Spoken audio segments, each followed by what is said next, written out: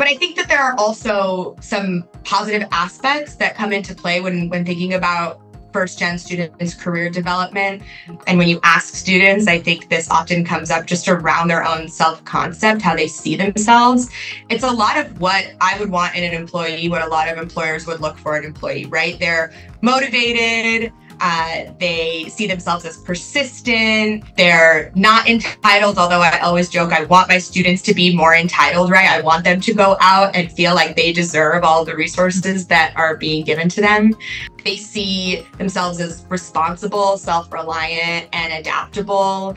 And of course, that often comes with the upbringing, but then also, of course, serving as uh, a role model for younger family members, being the first person to pursue higher education can come with that responsibility as well. And so I think these are all, like I said, things that employers really value and that you know if, i were a hiring manager i would want someone who is adaptable someone who's hardworking someone who isn't entitled in a bad way